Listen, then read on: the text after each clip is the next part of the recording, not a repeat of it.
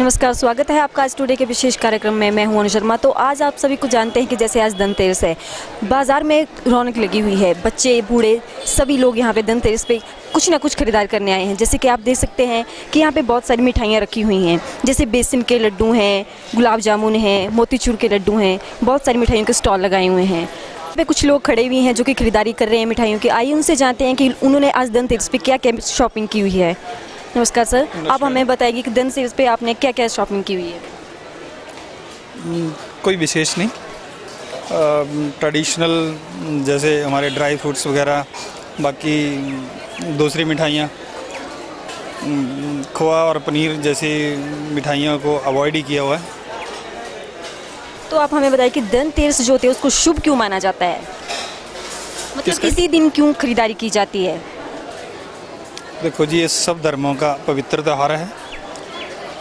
इसको अधिकतर धर्म के लोग शुभ मानते हैं। दुकानदार लोग नए सिरे से अपनी बहियाँ वगैरह, नया फाइनेंशियल ईयर एक किस्म से उनका शुरू होता है। तो हर एक मज़हब के लोग के लिए हर एक मज़हब के लोगों के लिए इस त्यौहार का अपना ही महत्व है। तो आइए जानते हैं इस आदर्श स्वीट के ऑनर जी से कि उन्होंने जो धनतेरस है, उस पर क्या क्या तैयारियाँ की हुई हैं। तो सर, आप हमें बताइए कि जो धनतेरस है, इसको क्यों शुभ माना जाता है और उस पर आपने क्या क्या तैयारियाँ की हुई हैं? मैडम, देखो, पहले तो देश, प्रदेश और हमीरपुर वासियों को अदर स्वीट शॉप की तरफ़ से मेरा हाथ जोड़ के प्रणाम और बहुत बहुत मुबारकें।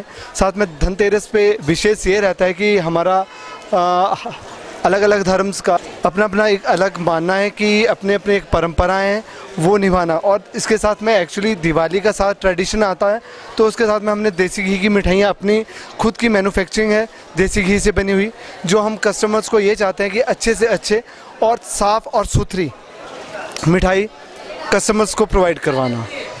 और दूसरा अपील ये करना चाहता हूँ एक तो दिवाली आ रही है साथ में लोगों को कि पटाखे कम जलाएँ और पर्यावरण को साफ़ और स्वच्छ रखें, जिससे पर्यावरण अगर साफ़ सुथरा रहेगा तो हम लोगों के बच्चे या आने वाले लोगों के बच्चे अच्छे रहेंगे। और खाने के लिए, सिर्फ़ खाने की ही चीज़ें, ज़्यादा शुद्ध चीज़ें ही इस्तेमाल करें। धन्यवाद। तो जैसे सर, आपकी धर्मपुर और महरे में भी एक शॉप है तो आप बताएँगे वहाँ का क्या रिस्पॉन्स है? मैडम, दोनों जगह का रिस्पांस सेम ही है।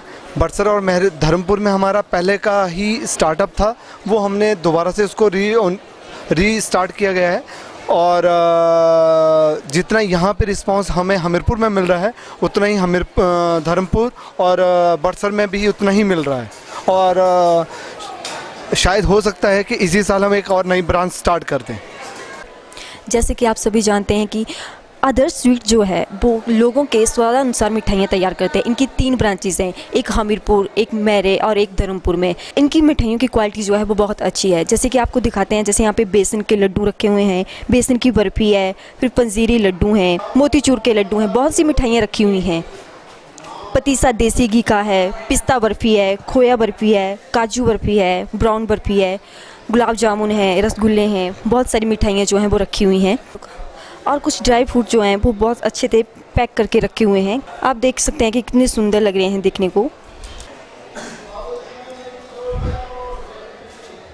अब आप यहाँ पे देख सकते हैं कि कितने अच्छे पैकेट जो हैं, वो गिफ्ट पैक करके रखे हुए हैं, जैसे बच्चों के लिए भी हैं। इतने अच्छे पैकेट जो हैं, वो पैक करके रखे हुए हैं। आप देख सकते हैं